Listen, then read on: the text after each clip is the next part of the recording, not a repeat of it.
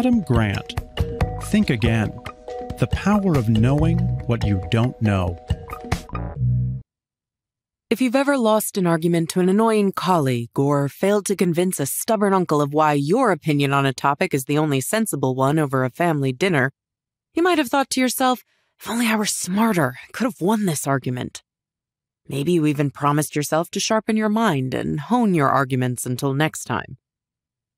It seems like a reasonable goal, but what if it's the wrong one? What if, rather than improving your mind, what you should really be working on is getting better at changing it? That's where these blinks come in. Listen on, and you'll discover that the key to better judgment, greater competence, and winning more arguments lies not in your power of thinking, but in your ability to think again. From eliminating racism in society to persuading anti vaxxers to better teamwork, you'll learn that humanity takes a step forward when certainty takes a step back. Before we begin, we publish new content every week. So be sure to subscribe to our channel and ring the bell to get notified about our latest extracts. In 2009, BlackBerry smartphones were riding high. The company controlled almost 50% of the smartphone market, and everyone from Bill Gates to President Obama to Oprah declared that they couldn't live without their Blackberries. But just five years later, the company's market share had nosedived to just 1%. Why? Because BlackBerry's inventor, Mike Lazaridis, wouldn't change his mind. As Apple's iPhone was released in 2007 and began to gain market share, Lazaridis continued to believe that most consumers would only want a device that could make calls and send and receive emails. He simply couldn't imagine a world in which people wanted more than what a BlackBerry could do. The key message here is in a constantly changing world, it pays to change your mind. But before you rush to judge Mike Lazaridis, consider that you might have made exactly the same mistake. Whether you're a business leader or an entrepreneur, you probably pride yourself on sticking to your guns and staying true to what you believe in. But the problem with sticking to your guns is that the world is now changing faster than ever before, and access to information is increasing faster too. Just consider this. In 2011, the average person consumed five times the amount of information each day as the average person did in 1986. This frenetic pace of change means that knowing how to think isn't enough anymore.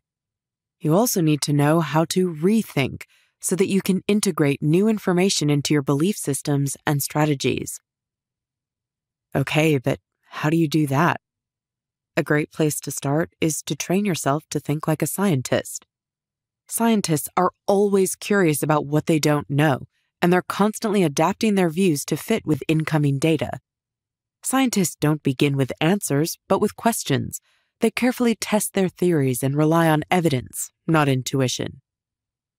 If you're a business leader, you can think more like a scientist by viewing your business strategy as a theory that you need to test.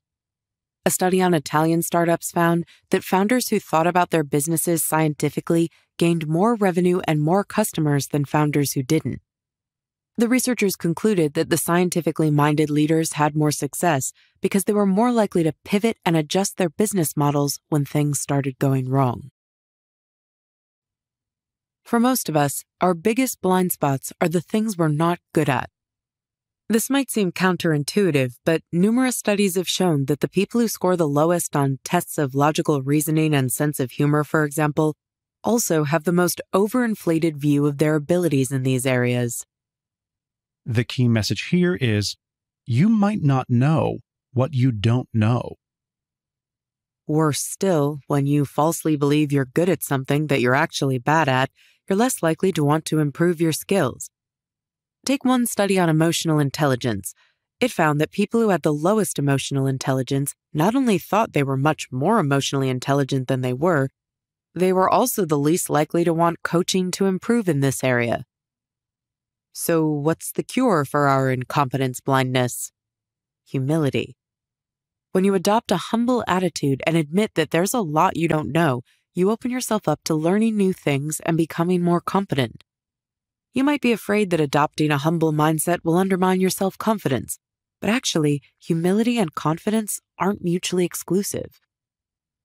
Confidence is about self belief, whereas humility is about questioning whether you have the right methods. The most successful people are confident about achieving their goal eventually, but they also have the humility to wonder whether they're currently using the best methods to get there. Another way to illuminate your blind spots is to enjoy a good old argument.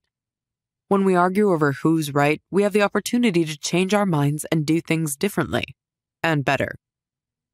That being said, it has to be the right kind of conflict. Relationship conflict involves not only disagreement, but also emotions and personal dislike. Whereas task based conflict concerns arguments over the strategy and methods you should use to get something done. During his research on Silicon Valley tech teams, the author Adam Grant found that the highest performing teams experienced moderately high amounts of task conflict, especially early on in their projects. This conflict was usually about how to best move forward. But importantly, the highest performing teams never had much relationship conflict. They all got along with each other, even when they clashed over how to get things done. In contrast, the lowest performing teams had low levels of task conflict but high levels of relationship conflict throughout their projects. The problem was they disliked each other so much that they never felt comfortable enough to challenge each other's ideas. How do you persuade someone that you're right? Grant used to believe that the art of persuasion consisted of reeling off evidence that the other person was wrong. But he's come to realize that there's a lot more to negotiations and debate than beating someone over the head with logic. The key message here is the best negotiators do three key things to change people's minds. First, they find common ground with the other person. Most of us enter debates and negotiations like a tug of war. We think that if we can hit our opponent with enough reasons why we're right, then we can drag them over to our side. But the most skilled negotiators approach the debate more like a dance. They know that by stepping back occasionally, it gives the other person room to step forward. So, whereas mediocre negotiators only arm themselves with reasons why they're right and the other person is wrong, the best negotiators also mention things on which they might actually agree. So the next time you enter a negotiation, remember that you don't have to win every battle. Agreeing with some of your partner's arguments and finding common ground will actually encourage them over to your side. Second, great negotiators also achieve more with fewer arguments. We often imagine debates to be like standing on opposing ends of a pair of weigh scales, if you can weigh your side with enough arguments, you tip the scales and win. But the best negotiators don't just pile on arguments. Instead, they present fewer, stronger arguments in favor of their case. That's because they know that weaker arguments dilute stronger ones. If you pile on lots of reasons to support your arguments, then your opponent will simply discredit the weakest ones. And once they've rejected some of your arguments, it's much easier for them to disregard your whole case. For instance, when a group of researchers set out to persuade alumni to donate money to their old college, they found that only half as many people donated when they were given two reasons to donate as they did when they were given just one. Third, whereas mediocre negotiators act like preachers and prosecutors, the best negotiators behave more like, you guessed it, scientists. Instead of just preaching their own viewpoints or mercilessly prosecuting their opponents' positions, great negotiators show a scientist like curiosity toward their opponents.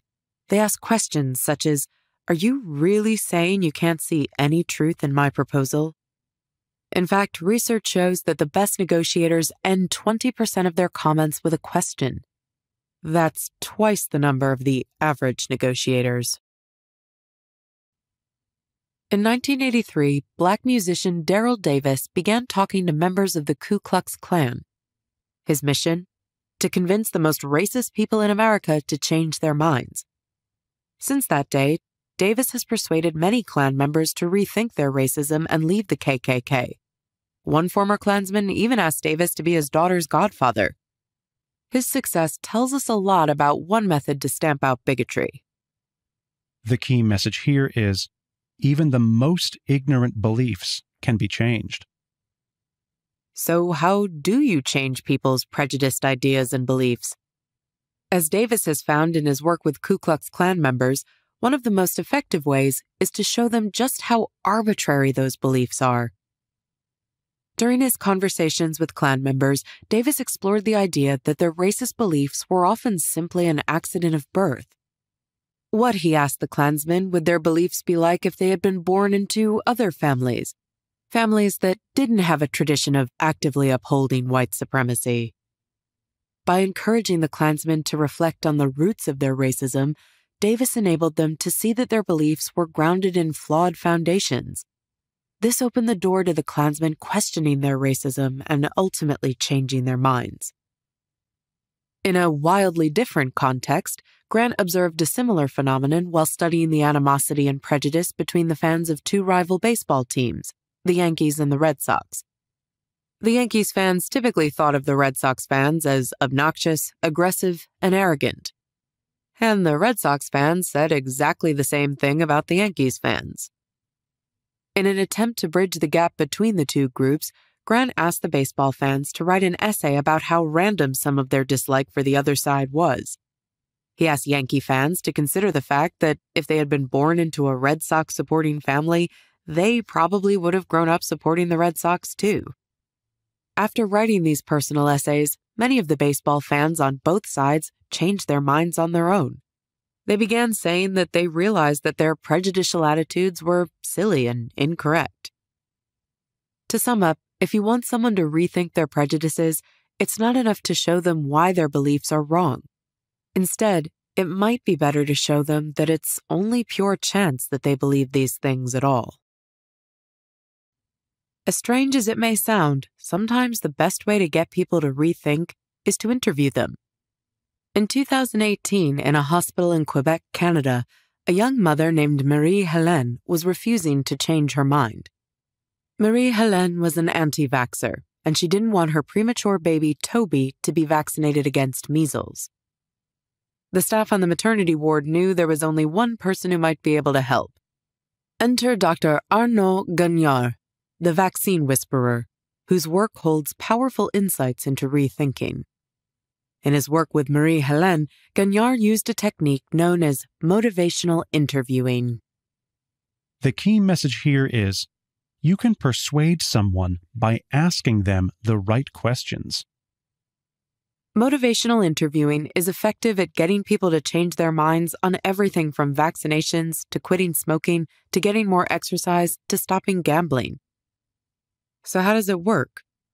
It all starts with the idea that it's much more effective to help people discover their own reasons to rethink rather than simply giving them your reasons for a rethink. The interviewer begins from a position of humility and honest curiosity about why the person thinks the way they do and explores what might motivate them to change their mind. So Gagneur began his interview with Marie Helene by asking her open ended questions about her feelings surrounding the measles vaccine. Then Gagneur moved on to ask her how she felt about the potential consequences of not getting Toby vaccinated. Usually, when we're trying to persuade someone, we do a lot of the talking. But motivational interviews emphasize listening instead.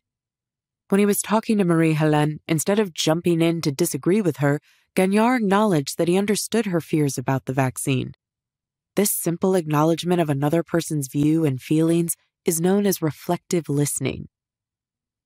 At the end of the interview, Gagneur emphasized that Marie Helene had complete freedom to choose whether or not to vaccinate Toby. When people refuse to rethink, it may not be because they disagree with your arguments. Instead, it's often because they want to hold on to their own freedom to choose. So it's important that you let the person know that they're capable of change, but that they're also free to decide for themselves. After the interview, Marie Helene decided to vaccinate Toby and her other children too. No persuasion required. In 2006, Al Gore released his award winning documentary on climate change, An Inconvenient Truth. It had a seismic effect, persuading governments, businesses, and ordinary people to start protecting the planet. But 15 years on, how successful has the environmental movement been in changing America's mind on climate change? Perhaps not as successful as it could have been. By 2018, only 59% of Americans viewed climate change as a severe problem, and 16% said they didn't think it was a problem at all. So, what can the mixed success of climate activists teach us about getting people to think again? The key message here is people rethink less when an issue is presented as black and white. Activists like Gore often frame the climate change debate as if people must agree with one of just two sides. On one side, you have scientists and the truth, and on the other side, you have climate deniers and their wild claims. But if you want people to think again, then this black and white approach doesn't work. By framing issues like this, we fall into the trap of binary bias. This is when, in our quest for clarity, we simplify a complex range of viewpoints into just two categories. In fact, most Americans aren't firmly on one side of the climate debate. Many people's views range from mildly concerned to disengaged to skeptical. But by making out as if it's simply truth tellers versus deniers, activists force people to pick a side. It turns out that people are more likely to change their minds when an issue is presented as complex, as having many different perspectives. In other words, if you want someone to rethink, it's no good telling them that they're either wrong or right. Instead, you're better off showing them that there are lots of opinions to choose from. This approach encourages people to focus less on the emotional, irrational business of picking sides and more on the actual issues. If environmentalists had managed to do this, then more Americans might have focused on the science rather than the sides. Of course, you might be worried that you'll appear weak or unsure of your position if you admit that there are multiple perspectives on an issue, but research shows that this isn't something you need to worry about. In fact, multiple studies have found that when experts show doubt, we actually find them more persuasive, not less. Rethinking isn't just about individuals changing their minds, it's also a collective necessity for organizations. In 2003, NASA's Columbia Space Shuttle took off. As it did, some foam broke off the shuttle. The NASA ground team's reaction? They quickly decided it wasn't a big issue. Foam had broken off spaceships before and nothing bad had happened. If the ground team had thought again about the importance of the foam, though, they would have realized that it was a big issue. The foam loss ultimately caused the ship to break up when it re entered the Earth's atmosphere. All seven astronauts died. The key message here is your organizational culture impacts your team's ability to rethink. In 2003, NASA's culture was heavily centered around performance. The top priority was getting things done and to an excellent standard every single time. With so much emphasis on results, there wasn't a lot of room for rethinking. If you want your team to have the ability to rethink and reassess their decisions, then your workplace needs to adopt a learning culture instead. In learning cultures, the highest priority is growth, and rethinking is routine. Employees maintain an element of doubt about their methods, and they're always aware of just how much they don't know. This mindset means they stay humble rather than suffering from the overconfidence that the NASA scientists fell victim to. You might assume that organizations with a performance culture get better results, but research shows that companies with learning cultures are the most innovative and make the least mistakes. You can instill a learning culture in your organization by providing psychological safety to your employees. When team members feel psychologically safe, they feel comfortable taking risks, knowing that they won't be punished for doing so. They trust their coworkers and managers enough to be able to admit when they've made errors. This means that mistakes and problems can be identified and ironed out. But in performance cultures, employees are routinely punished for failing, so people scramble to cover up their errors.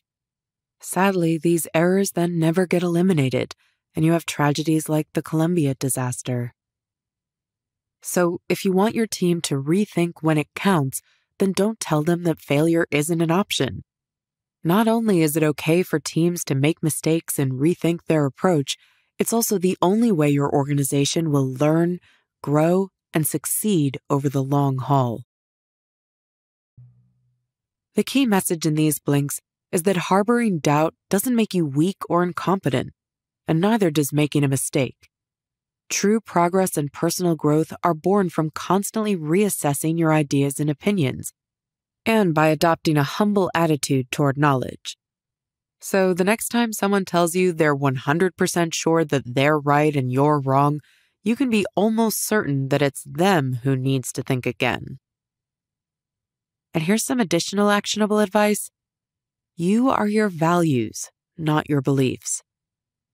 How do you define yourself? If you get your sense of identity from your beliefs, then you might want to think again. When your sense of self comes from the opinions you hold, it makes it far more difficult to change them. Because your whole identity is based on them, you end up getting defensive and clinging on to opinions, even when evidence suggests they're no longer valid. So instead of identifying with your beliefs, define yourself through your values instead. After all, your core values, such as fairness, integrity, or excellence, won't need to change throughout your life, but your beliefs about how to advance them probably will. Got feedback? We'd love to hear what you think about our content. Just share your thought or book recommendation on the comment section and be sure to subscribe and ring the bell to be notified about our latest extracts. Thank you and have a great day.